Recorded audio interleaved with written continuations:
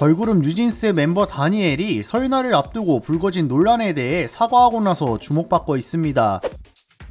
뉴진스는 최근 두 번째 싱글 앨범 OMG를 발표했고 수록곡 Ditto와 타이틀곡 OMG는 국내의 음원 차트를 휩쓸 만큼 큰 인기를 구가하고 있는 걸그룹인데요. 그런데 뉴진스 멤버 다니엘이 지난 19일 팬들과 소통하는 어플리케이션인 Phoning에서 팬들에게 설날에 뭐 하느냐 라고 묻는 과정에서 설날을 Chinese New Year라고 표기해 논란이 되었습니다. 다니엘은 한국과 호주 이중국적으로 어릴 때 한국에서 살다가 호주로 이주하여서 살아서 영어가 조금 더 익숙하다고 하는데요. 아직도 해외에서는 Chinese New Year라고 사용하기도 해 영어로 표현을 하다가 Chinese New Year를 사용한 것으로 보이죠. 때문에 이런 말이 왜 튀어나왔는지 이해가 가는 부분이 있으나 한국 아이돌로서는 부적절한 발언이라는 지적이 이어졌습니다. 이에 다니엘은 21일 뉴진스 인스타그램에 해당 실수를 깨닫고 바로 삭제했지만 이미 많은 분들께 메시지가 전달되어 돌이킬 수 없었다라며